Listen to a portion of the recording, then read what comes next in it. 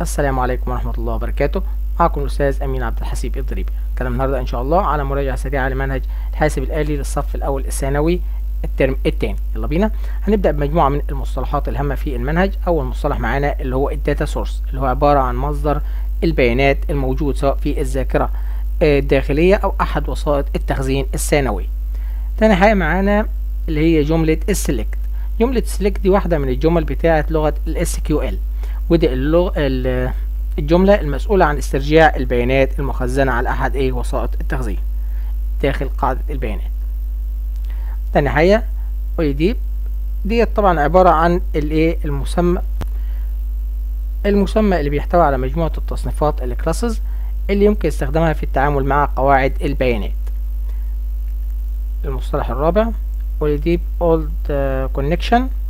طبعا ده عبارة عن المصنف اللي بيتم من خلاله إنشاء متغير باسم ال my connection لفتح قناة الاتصال بين قاعدة البيانات والايه ال Visual Basic طيب اللي بعديه المصطلح بعديها OleDb command.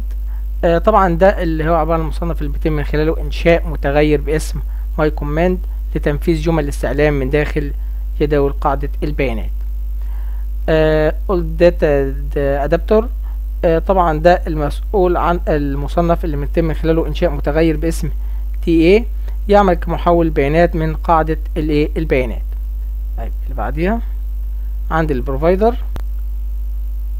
ال provider وده عبارة عن همزة الوصل بين قاعدة البيانات وال Visual Basic وكل آه برنامج قاعدة بيانات data provider بيتكون من connection وال command وال data adapter عندي ال my connection dot connection string طبعا ده عبارة عن الخاصية الخاصية اللي بتحتوي على المعلومات المطلوبة لعمل إيه؟ قناة الاتصال. وطبعا بيحتوي على البيانات اللي هي إيه؟ file path و source provider data آه عندي كمان آه ال command text command text ده عبارة عن خاصية المتغير command my command بيحتوي على التعبير النصي يمثل جملة اللغة الايه إل. ال data table ده عبارة عن مصنف يتم من خلاله إنشاء متغير باسم DT data table يعني يمثل جدول قاعدة البيانات المراد قراءتها. دي كده المصطلحات الموجودة تقريبا في المنهج بتاعنا بالكامل. هنبدأ في الأسئلة بتاعتنا. دي أشهر الأسئلة اللي إجت قبل كده. سؤال صح وغلط. أول سؤال بيقول لي يتم وضع عناصر داخل التحكم combo box من خلال الخاصية item هقول طبعا هنا الإجابة خطأ هنا الإجابة غلط. تستخدم أداة تحكم ال combo box في اختيار عنصر واحد فقط. طبعا ال combo قائمة منسدلة صح؟ تسمح لغة ال Visual Basic بإضافة أدوات تحكم جديدة control إلى صندوق toolbox طبعا صح زي حتى ال Media Player. يمكن استخدام برنامج آه ال Windows Media Player في تشغيل ملفات نصية. طبعا هو Media Player يعني إيه؟ فيديوهات. يستطيع المستخدم إدراج صور متحركة داخل آه أداة آه picture box وتظهر متحركة بعد التشغيل. تمام مفيش مشكلة. توجد أداة ال X Windows Media Player ضمن مربع الأدوات. هي مش موجودة ضمن مربع الأدوات لكن إحنا ممكن إيه إن إحنا نضيفها. هنا لا توجد هي ضمن مربع ويجب ضمها لهذا المربع أو يمكن ضمها لهذا المربع. يجب أو يمكن آه تمام صح مفيش مشكلة. يفضل تخزين خرائط آه الدول بمجلد ال flag هنا طبعا بيقول لي يفضل مش يجب لأنه ممكن تحطها بأي جدول أنت عاوزه بس عشان الاستدعاء ويسهل إيه الكود بتاعك لفتح نافذة الكود اضغط على مفتاح F5 من لوحة المفاتيح. طبعا هنا غلط التشغيل البرنامج من F5 لكن F7 اللي هو الايه الفتح نافذة الكود. تعود الدالة get data from excel sheet بقيمة من النوع data table. طبعا الإجابة صح. الإعلان عن الدالة get data from excel sheet يبدأ بكلمة sub. طبعا الدالة غلط السؤال اللي بعده. هنا بيقول لي لا يسمح أن تحتوي الدالة فانكشن على وسائط. طبعا غلط. الدالة بتحتوي على إيه؟ على وسائط. ممكن يكون وسيط أو أكثر كمان. الوسائط في get data from excel sheet. هما ال SQL وال path طبعا صح؟ القيمة الراجعة من الدالة ديت من النوع string. طبعا غلط. هنا data table. يتم الإعلان عن ال function باستخدام كلمة sub function دالة ال sub ده إجراء من sub طبعا أي غلط يبقى function يمكن إنشاء متغير من النوع data table في الذاكرة يحفظ فيه البيانات التي يتم إحضارها من ملف البيانات طبعا صح. لا تسمح لغة ال Visual Basic بتغيير الاسم الافتراضي لأدوات التحكم. غلط. عادي ممكن نغير. الحدث selected index change. اختبر العنصر الذي تم اختياره داخل ال combo box طبعا صح. تستخدم جملة try and catch في اكتشاف الأخطاء التي قد تقع أثناء التشغيل. طبعا صح. ودي بتسهل على المبرمجين إن هم يشتغلوا. آه الكلمة المحجوزة me تستخدم في نافذة الكود تشير إلى نهاية الإجراء غلط. me تشير إلى النموذج الحالي ال form اللي أنا واقف فيه. يبدأ إعلان عن متغير بكلمة Dim طبعا صح. السؤال اللي بعده. بيقول لي هنا لا تسمح لغة ال Visual Basic بالإعلان عن المتغير بدون تحديد قيمة. طبعا هنا بدون تحديد قيمة غلط لا تسمح لغة ال Visual بإعلان عن ثابت بدون تحديد قيمة. طبعا صح. المتغير ممكن إن أنا أحدد له أو ما أحددلوش عادي مفيش مشكلة لكن الثابت شرط أساسي إن أنا إيه أحدد له. توجد بعض الخصائص بين معظم أدوات التحكم منها خاصية ال items طبعا هي موجود موجودة في ال combo وال ال combo box وال list box. فمش موجودة في المعظم. هي هي في اتنين يبقى أنا غلط الضغط على مفتاح F 4 من لوحة مفاتيح تشغيل البرنامج طبعا غلط F 5 أما F 4 بيظهر مربع الخصائص. لإضافة أداة زر الأمر button إلى واجهة البرنامج. انقر نقر مزدوج على أداة الزر في صندوق ال tool box طبعا صح؟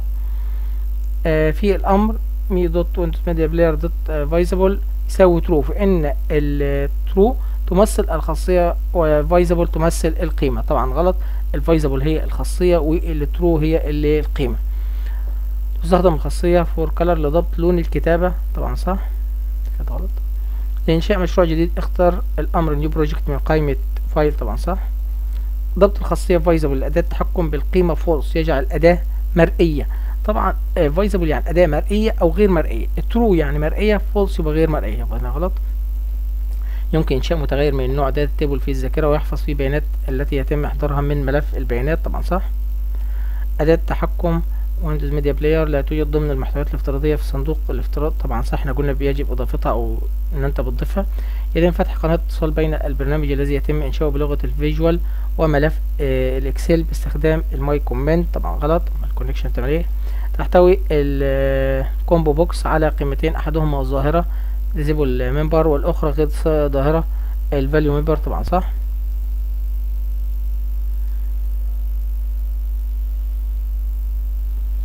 السؤال اللي بعده عندي هو بقول أكمل. آه تحتوي الدالة آه data from excel sheet على كم وسيط؟ طبعا تحتوي على 2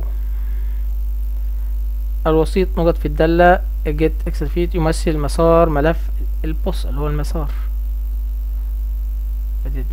يبدأ الإعلان عن الدالة get data from excel sheet بكلمة. هنا بيقول لي الإعلان عن إيه؟ الدالة. الدالة يبقى إيه؟ function. على طول. يتم الإعلان عن المتغيرات ديت بكلمة هنا لي متغير. المتغير دايما بعلن عنه بالأمر اللي اسمه إيه؟ Dim. في نافذة الكود قائمة ال class name تعرض الإجراءات اللي هو ال event يبقى ده الخمسة الأولى وبينما ال method بتعرض الاجراءات يبقى ده الخمسة لا تمام؟ السؤال اللي بعده. بيقول لي هنا نقط. هو همزة نقط هو همزة الوصل بين ال Visual Basic وال database أو قاعدة البيانات اللي هو عبارة عن ال data adapter مفتاح نقط من لوحة المفاتيح يستخدم لفتح نافذة الكود طبعا F7 آه الخاصية التي تستخدم لتغيير اسم الأداة label أي أي هنا بيقول لي الاسم مش النص الظاهر على الأداة وبالتالي هناخد الايه ال name الخاصية التي تستخدم لتغيير النص على الأداة هنا إيه على يعني على واجهة الأداة يبقى الخاصية text لغة البرمجة المستخدمة في مشروع أطلس العربي. إحنا بنستخدم طبعا الدرس بتاعنا أو الشغل بتاع المنهج كله عبارة عن الأطلس بستخدم فيه الأساس اللي هو إيه؟ لغة ال Visual Basic dot net طيب عندي كمان بيقول لي الحدث الافتراضي للأداة combo box هو. طبعا selected index changed. هنا بيقول لي يفضل أن يبدأ الاسم الجديد للزر بالأوامر اللي هو إيه؟ طبعا إحنا هنا المبرمجين بفضل إن هم يختصروا الأدوات إلى ثلاث حروف. هنا ال button بقول لي ال button ال BTN طبعا. يفضل إن يبدا اسم ال label أو المبين بثلاث حروف اللي هو LBL لاستخدام المتغير في أكثر من إجراء بدون وقوع أخطاء في البرنامج يلزم الإعلان عنه على مستوى طبعا التصنيف class تنتهي جملة if بال end if ولازم يكون في بين ال end وال if مسافة مش لازقين في بعض. في حال استخدام جملة if الشرطية وكان ناتج الشرط خطأ false فإن البرنامج يقوم بتنفيذ الأوامر التي تلي كلمة else. إذا كانت true بينفذ اللي بعد then في حالة إذا كان false بينزل اللي بعد إيه؟ else. الغرض من الكود combo box 1 selected selected item بيساوي V آه V هو عبارة عن إيه؟ هنا طبعا بيخزن العنصر اللي هو المحدد في المتغير اللي هو V هنا بقول ال combo box اللي هي الأداة combo box 1 selected item اللي هو العنصر المحدد اللي هو هيبقى إيه هيتخزن فيه اللي هو قيمة الايه ال V أو المتغير اللي هي أتمنى عجب حضراتكم الفيديو ما تبخلش علينا بالاعجاب والاشتراك معنا في القناة وتفعيل زر الجرس. أتمنى لكم كل التوفيق والنجاح إن شاء الله. والسلام عليكم ورحمة الله وبركاته.